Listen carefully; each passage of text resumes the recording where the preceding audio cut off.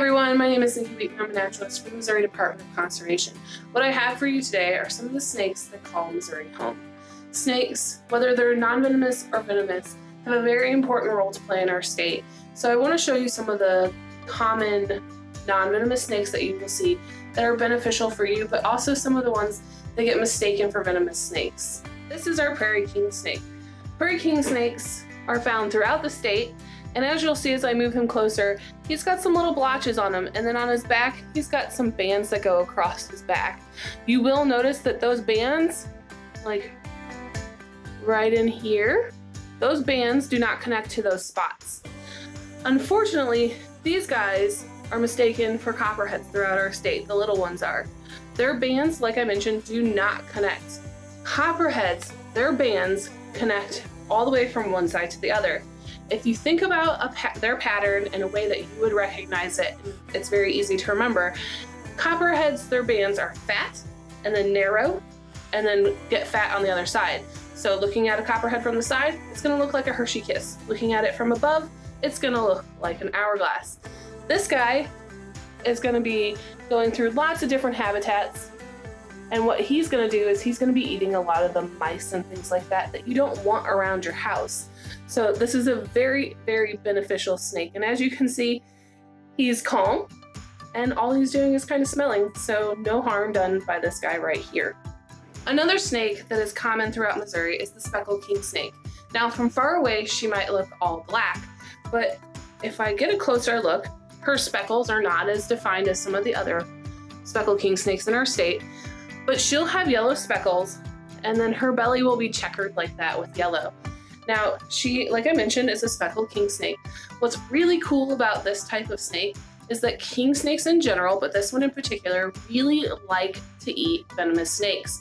So king snakes are super beneficial to have around your house because they're gonna eat those venomous snakes that you might not really want around your house. So this little thing right here, if she were out in the wild, and she wanted to, and she found a copperhead, she could eat that. King snakes are immune to copperhead, uh, rattlesnake, and cottonmouth venom, which are some of the venomous snakes that we have in our state. And she can eat them if she wants. They're also gonna eat mice and things like that around your house. As you can see, this one is pretty curious. They just wanna get someplace that's nice and warm. Right around my neck is nice and warm. Um, and they just want to be safe. So they really hold no danger to you if you leave them alone. So if you don't know what you're doing, let them be, let them do what they're supposed to in their habitat, and they will be just fine. They'll go and get other little snakes to eat or mice and things like that that you don't want around in your yard. So like I said, this is a speckled king snake. They're found throughout the state. All you gotta do is look for them. This is our last snake. This is a black rat snake, a western snake, a black snake. It's got a lot of different common names for it. So as you can tell, he is black. He's a black snake. If you look at him from far away, that's all you're gonna see. If you see this guy up close, he's got some brown and red that goes through.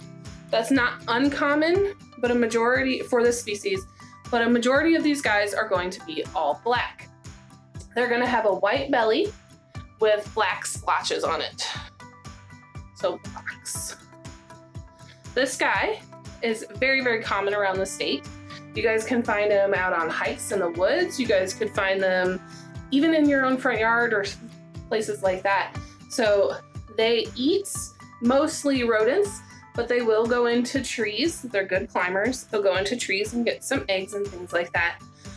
But what I want you guys to see about this guy right here is his tongue.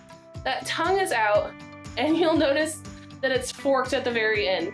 Now, they have that forked tongue so that they can smell all around them. So the tongue goes out, it goes in two different ways, and it's sending messages from over here and over here, what's around him. It goes back to a special organ that he has and it processes that information so they know where their food is and where their food isn't. So he's never seen my camera before, so he knows, um, or he's exploring, what is around him. I hope you enjoyed visiting with our three snake friends today, our speckled king snake, prairie king snake, and our western rat snake. Remember, snakes are not out to get us. They don't want to hurt us. So when you see them out in the wild or maybe in your front yard or backyard, let them be, let them continue on doing that job. You never know, they might be going after mice that's, that are around your house. So let them do their job. Appreciate them for the wild animals that they are and the amazing opportunity that you get to see them. I hope everyone can get outside, practice safe social distancing, and discover nature in your own backyard.